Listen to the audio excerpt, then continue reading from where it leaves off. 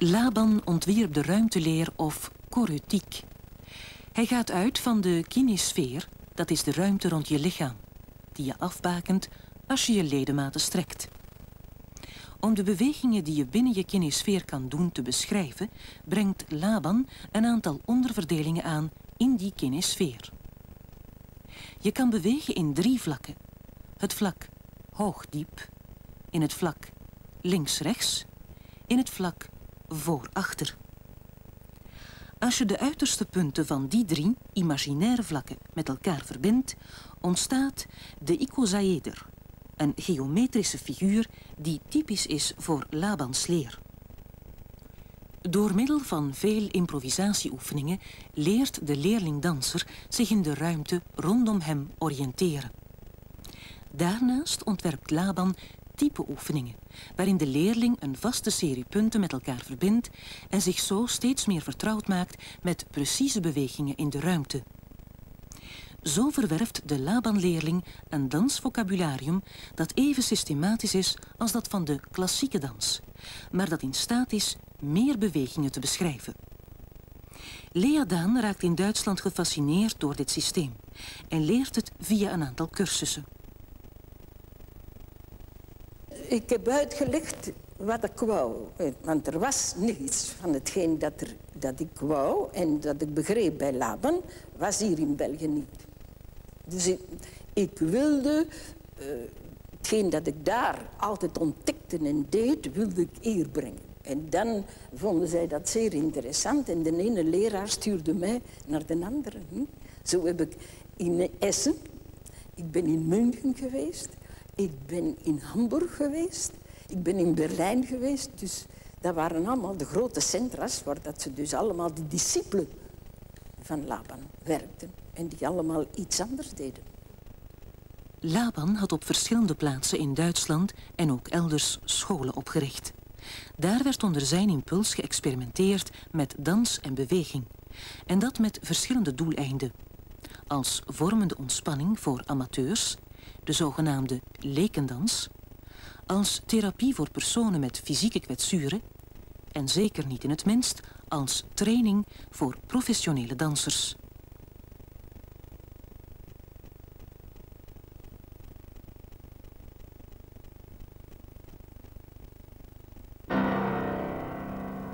Laban moet een zeer stimulerende invloed gehad hebben op de mensen met wie hij werkte. Zo probeerde Kurt Joos in de pas opgerichte Volkwang Hochschule in Essen de mogelijke uitdrukking van een beweging te verbinden met de plaatsing en het verloop van die beweging in de ruimte. Hij ontwikkelde op die manier de uitdrukkingsleer of eukinetiek. Precisie in de uitdrukking veronderstelt dus precisie van beweging. Hetgeen dat Laban onderwezen heeft en dat hij geschreven heeft, dat is wel het allersterkste. Ik bedoel, dat is voor mij het begin. En ik denk niet alleen voor mij, dat was ook voor Curtius het begin. Hè? Voor allemaal, zijn discipelen. Dus dat grote ontdekken. En dan heeft Joos dat gestoffeerd met de uitdrukking. Hij heeft dus al zijn balletten, als je denkt, de groene tafel en oh, al wat we al van hem toen gezien hebben, dat waren allemaal thema's hm, die, die dus eh, gebaseerd waren op, zijn verbeelding. Hm. En dan heb je uh, de andere, Albrecht Genoest, is de man van de lekendans. In Hamburg, de man van de lekendans en ook die uh, uitgewerkt heeft, het dansschrift bewegingsschrift, dansschrift. En Gleisner was de man van de politiek. Hm, dat was een politieke partij. En hij was ook voorstander van eh, de lekendans, en, maar hij was dan meer politiek gericht. Gedreven door de gedachte van volksopvoeding was deze Gleisner zeer actief in het opzetten van grote bewegingskoren voor amateurs. Leken, zoals ze genoemd werden. Een paar jaar later zullen ook in Vlaanderen dergelijke bewegingskoren te zien zijn. Zoals bijvoorbeeld deze Mens en Machine, gedanst in het Antwerpse en gechoreografeerd door Jenny Laroche.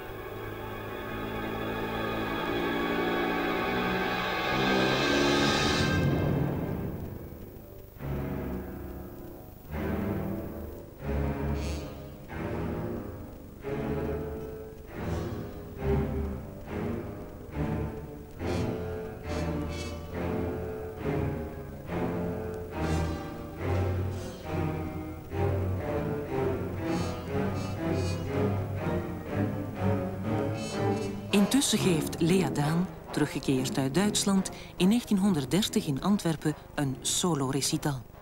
Met kostuums ontworpen door Henri van Straten, de man waarvan ze drie jaar eerder les had gekregen in de Vrije Academie. Lea Daan is in Duitsland bevoegd verklaard om het Labanstelsel te onderwijzen. En ze richt in 1931 de dansschool Lea Daan op. Drie jaar later vormt ze de dansgroep Lea Daan. Ze onderhoudt haar contacten met de Duitse bron. Nadat Joos in 1933 een voorstelling van De Groene Tafel had gegeven, trekt ze opnieuw voor een zomercursus naar Duitsland. Ze treft er ook Isa Vos en Elsa Darciel. Laban, Knoest en Gleisner bezoeken op hun beurt de school van Leadaan. Laban is gekomen, ik denk rechtuit gesproken, en Kurt Joos zijn hier ook geweest op verschillende periodes. Joos is na, na de oorlog gekomen. Ja, Joos is na de oorlog gekomen, uh, al uh, Laban voor, Gleisner ook voor. En Knoest ook. Maar ik denk dat die mensen gekomen zijn doordat ze geïnteresseerd waren aan persoon. Ik bedoel, te weten wat ik deed. Maar het ook vooral eens komen zien wat er hier uitgestoken werd. en ik weet dat we bij het vertrek van, van Laban, dat, hier, dat was hier in de zaal, dat hij, als wij, wij zo het een en het ander hadden getoond, dat hij daar ging staan. Ik zie hem daar nog staan. En dat hij ons dan iets voordeed. Ik bedoel zo uh, begripruimte. Maar wij waren allemaal stil. Zo was dat. En dan was hij toch al bij de zestig. Maar dan werden wij allemaal stil. Hij trok zijn jas uit en hij ging daar staan. En hij begon.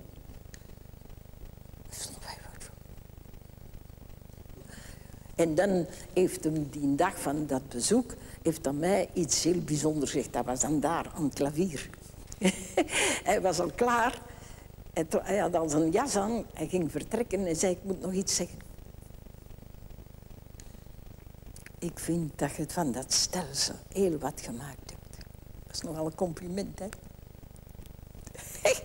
maar dat zijn dingen die je niet vergeet. Want een van de, een van de elementen heeft dat eh, gefotografeerd. Dat wist ik niet. En ik sta zo naar hem te kijken. En hij zegt dat dan zo. Het Labanstelsel vertrok in essentie van het geloof dat de mens via een grotere fysieke bewustwording de verloren gegane harmonie tussen geest en lichaam, tussen mens en natuur kon herstellen. Het bewustzijn van de mens. Niet van buitenuit naar binnen, maar van binnenuit naar buiten.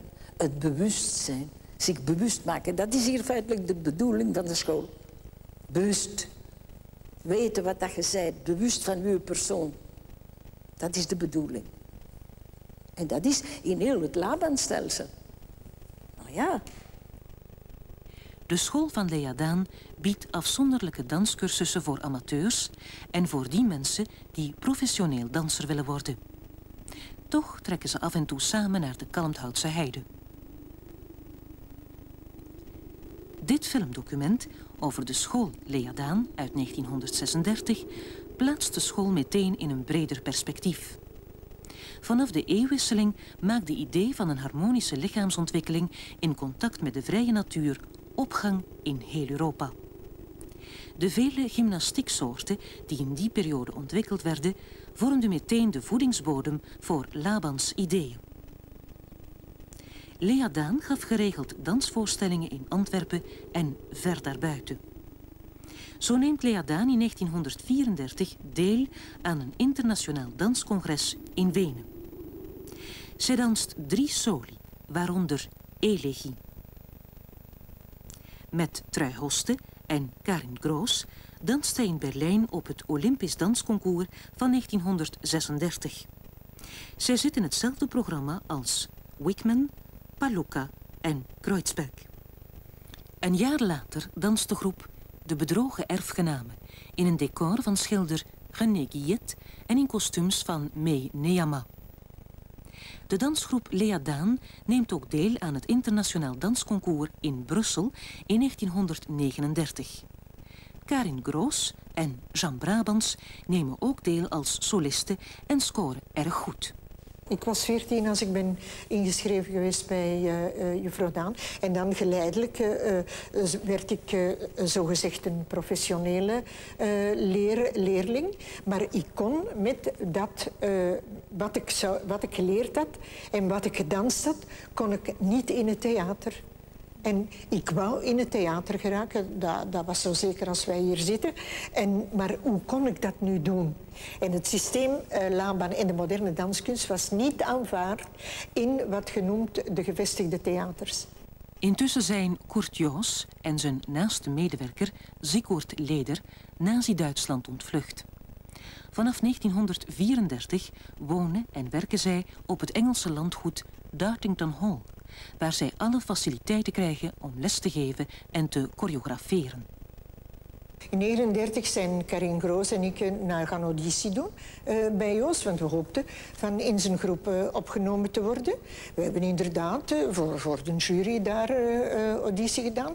En er zijn discussies over geweest. Er is, jammer genoeg is daar de oorlog op uitgebroken.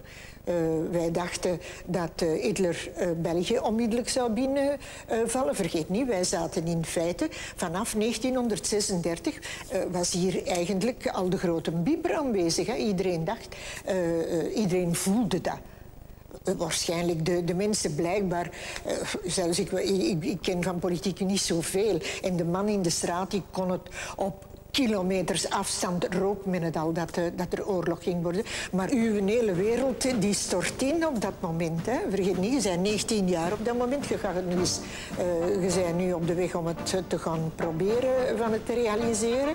En dan is dat precies of ze snijden alle... Uh, gedaan, een bliksemflits en, en dat is voorbij.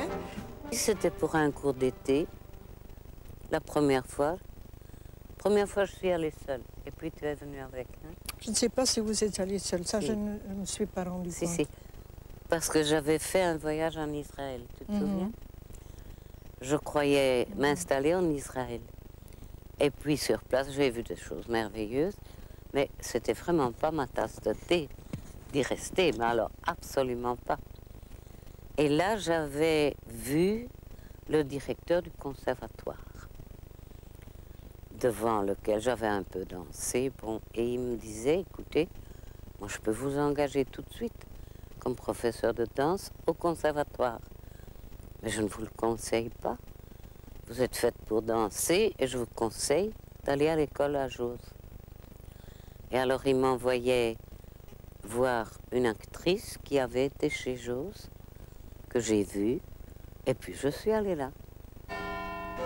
À Londres, j'avais quelqu'un de ma famille, une sorte de tante.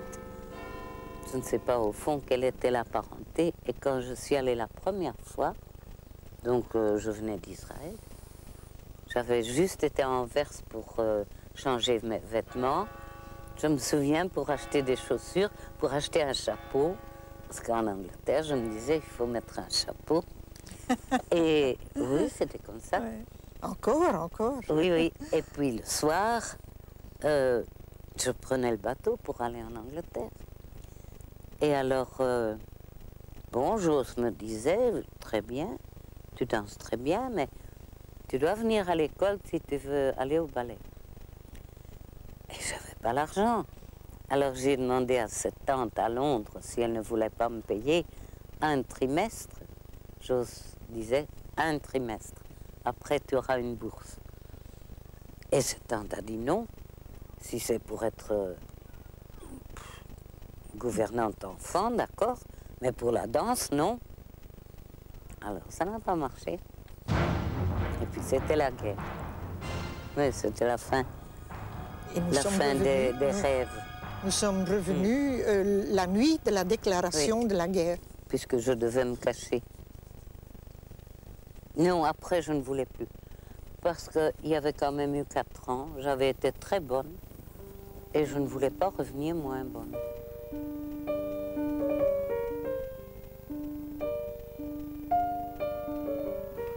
Karin Groos, uh, dat was de eerste die mij les heeft gegeven. Dat was een, uh, een Jodin en ik wist het niet. Het kon mij ook niet schelen of ze een Jodin was of niet, maar die bleef ineens weg. Ik, had, ik, had, ik, ik, zeg ja, ja, zij komt niet meer, antwoordde Lea Daan mij. Zij komt niet meer. En ik heb pas veel later geweten dat zij is moeten gelukkig is moeten onderduiken en dat ze dat heeft kunnen uh, zo lang volhouden dat men haar niet gevonden heeft. Hè. Vanaf 1940 spelen de activiteiten van de school Leerdaan zich noodgedwongen bijna uitsluitend binnenskamers af. Alicia Borgten en Mimi Krombeck zijn twee van de leerlingen die tijdens de oorlog de professionele cursus volgen. Voor publiek zullen zij pas na de oorlog kunnen dansen. Typisch genoeg begint een filmpje over de school, gemaakt door Willy Beunis in 1942, met een stukje klassieke training. Naast de uitdrukkingsdans krijgt het vernieuwde klassieke ballet ook de aandacht van de school. We begonnen bij Lea Daan om acht uur. Om acht uur was het met de pianist voor de choreografieën te maken. Dus te zeggen opdrachten die we kregen. En uh, die opdrachten moesten bijvoorbeeld acht dagen later moest die getoond worden aan Leada. En uh, we moesten de muziek zelf kiezen. En ik moet zeggen, de pianist, meneer De Bakker, die hielp ons geweldig. en dan moesten we de, de dansen zelf maken zonder dat is dan een vorm van trekken. Trekken. Maar iemand die zich, die, zich laat gaan een beetje, of die niet anders kan, die, die, die zakt neer, die heeft geen lucht, weinig lucht in zijn longen.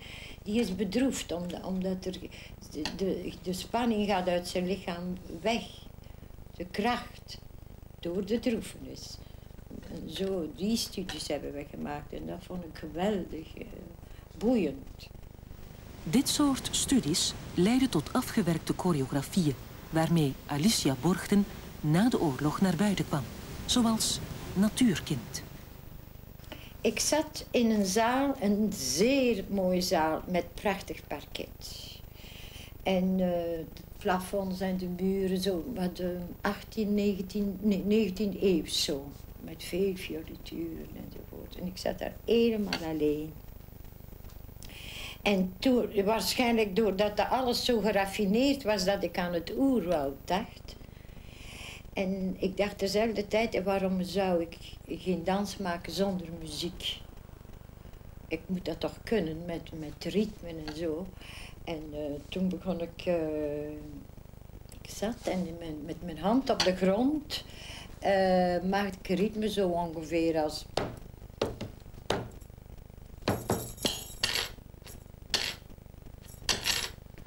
En dan handwoordde de hiel, natuurlijk met blote voeten. Hè. En toen uh, met de handen op de grond en toen stilletjes aan kwam ik recht. En in mijn verbeelding was het geheimzinnig en mysterieus en akelig soms en angstig en ook speels. Dus al wat dat ik in het oerwoud zou tegenkomen. Dat, uh, dat heb ik dan gedanst. En het, het, weet je dat op het einde ik uh, nog heel eventjes zo deed met mijn hand. En toen zat ik stil. Ja, ja, dat, uh, dat had veel succes, ja.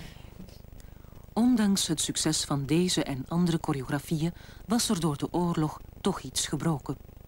De periode na de oorlog was ontzettend moeilijk. Uh, eigenlijk moeilijker als onder de oorlog zelf omdat het bijna een, het is bijna een verloren generatie. Het, het was moeilijk om contacten te zoeken met het buitenland. Uh, iedereen had werk om alles terug, terug een beetje op bloei te brengen. Er was, uh, de, in de, onder de oorlog was er een stabiliteit omdat je niks anders kon doen. En dan waren de studies daar en dan was het creatieve uh, zeer groot omdat je geen middelen genoeg had. Bijvoorbeeld een kostuum, dat werd gemaakt van, van oude stof en, van oude draperieën. En toch maakte men mooie dingen. En na de oorlog was er, was er uh, ik zeggen, allemaal andere indrukken. En ik denk dat daar dan zo'n een, een down is gekomen, een, een naar beneden gaan. De opbouw na de Tweede Wereldoorlog verloopt in België en elders moeizaam. Zeker de heropbouw van het openbaar cultureel leven zal nog enige tijd in beslag nemen. In Duitsland is de situatie veel erger. De oorlog heeft daar grote bressen in de ontwikkeling van de moderne dans geslagen. Via zomercursussen neemt men hier de draad met de Duitse leermeesters weer op. Ik ben in de eind 23 geboren en ik ben dus in 50 naar Zwitserland gegaan. Dus u kan rekenen, ik reken dat niet meer. In 50 en in 52. En dat is dus gekomen omdat... Ik denk dat de Zwitserse Federatie van Dans de eerste was die in Europa zo'n zomercursus inrichtte. Want Joos is in 1949 terug naar Duitsland gekomen. Maar Duitsland was nog totaal kapot. Dus waar moesten scholen opgericht worden? Waar was er mogelijkheid in een land dat betrekkelijk neutraal gebleven was? En dat was dus in eh, Machlingen, dat is op een hoogte van 900 eh, meter zoiets, boven Biel. En daar gaf Mary Wichman les, Kurt gaf les, choreografie. Harald Kruisberg gaf les en Hans Zulig gaf les in moderne techniek. Dus allemaal school van uh. Hè. En uh, Madame Nourakis gaf academisch ballet, een schat van de wings. In België zoekt intussen ieder zijn eigen weg. Jean Brabants richt in 1941 haar school op. En even later ook het dansensemble Brabants. In die school krijgt de ruimte- en uitdrukkingsleer zijn plaats naast een klassieke ballettraining, waarvoor zij zelf trouwens hardnekkig blijft bijscholen. Voor het dansensemble Brabants choreografeert Jean Brabants vaak zelf, zoals de vrouwen van Zalongo.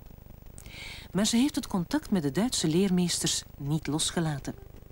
In 1951 komt Sigurd Leder, die ze tijdens de zomercursus in Dartington Hall ontmoet had, een choreografie aanleren aan het dansensemble.